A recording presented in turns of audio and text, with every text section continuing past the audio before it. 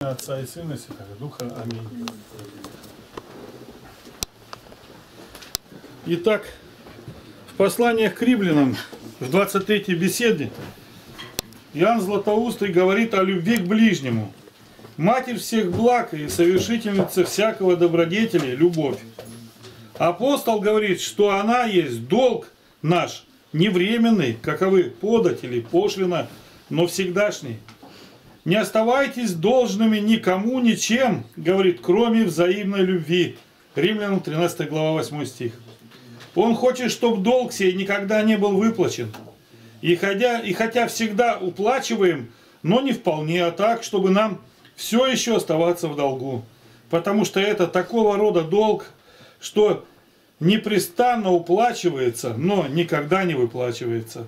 Сказав же, как должно любить, он открывает и выгоды любви, ибо любящий другого, говорит, закон исполнен. Ты обязан любить брата по духовному с ним родству. И не по одному родству, но потому еще, что мы все члены друг для друга.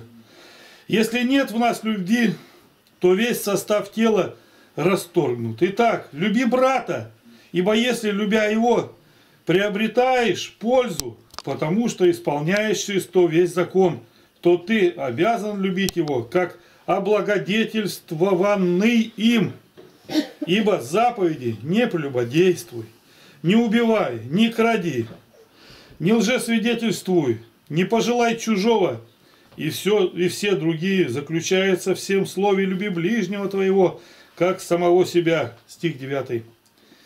Апостол не сказал «дополняются», но заключаются, то есть в этой заповеди сокровен, сокращенно вмещается весь состав заповедей. Ибо начало и конец добродетели есть любовь. Она есть и корень, и необходимое условие. Она и вершина добродетели. А если любовь есть начало и полнота, то что может ей равняться? Впрочем, апостол требует не просто любви, а любви высшей степени, ибо не просто сказал «возлюби ближнего твоего», но прибавил как самого себя. И Христос сказал, что в любви содержится закон и пророчество. Матфея 22 глава 40 стих. И указав два вида любви, смотри, какое высокое место дал любви к ближнему, сказав, возлюби Господа Бога твоего. Сия есть первая заповедь, когда стал продолжать. Вторая же не ограничился тем, но прибавил, подобное ей, возлюби ближнего твоего, как самого себя. Что может сравниться с таким человеколюбием, с такой снисходительностью? Хотя бесконечное расстояние между Богом и нами, однако ж Бог взаимную любовь нашу друг к другу поставляет близ любви к Нему самому. И одну называет подобной другой. Почему для той и другой любви положил почти равную меру? И о любви к Богу сказал, всем сердцем твоим и всей душой твоей, а о любви к ближнему, как самого себя. А Павел говорит, что если нет любви к ближнему, то немного пользы от любви к Богу. Когда любим кого, то говорим о нем.